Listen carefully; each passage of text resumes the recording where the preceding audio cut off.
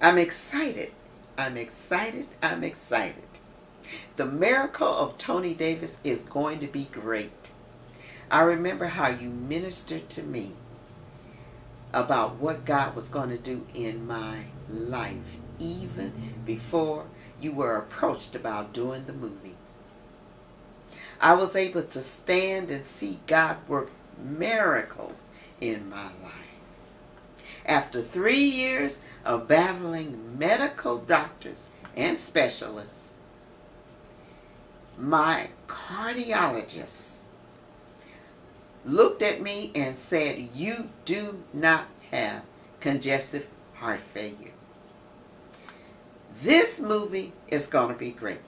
This movie is going to win many souls to the kingdom of God.